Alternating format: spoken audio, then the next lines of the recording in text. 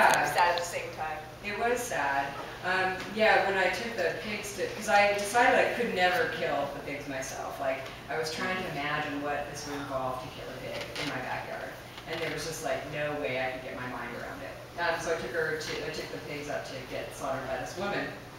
And uh, she was just god awful. You know, she was just like the worst, worst, worst person to do this job.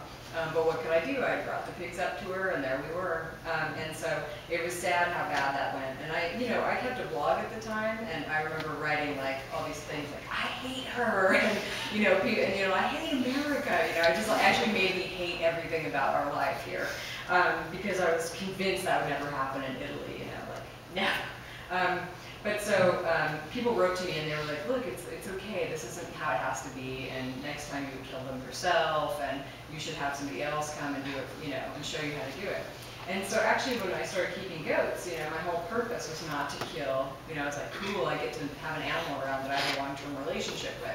Um, but of course, when you have male goats you know, that are born, you actually have to get rid of them. They can't, they don't give milk, they smell really bad, and they hump everything in sight.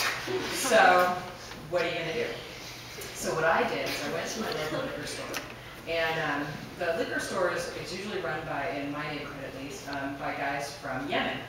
And um, happened to be uh, the storekeeper, Moses, there. He um, used to be a goat farmer. And so I was like, dude, Moses, I have this goat. You know, what am I gonna do?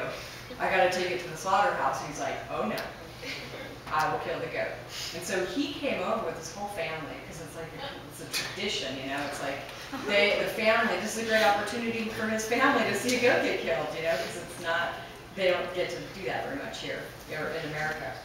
And so he brought his wife, and she was in the full hijab and everything, and um, she said, uh, she sang while he killed the goat, and he killed the goat with this like, just amazing, just like, just was so fast, and um, then it's all over. And so then I was just like, wow, this could be like, it is actually like a spiritual experience. I mean, it was kind of like really intense at the same time.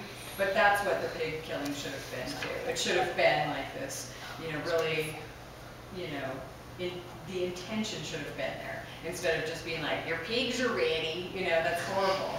Um, I didn't want that. So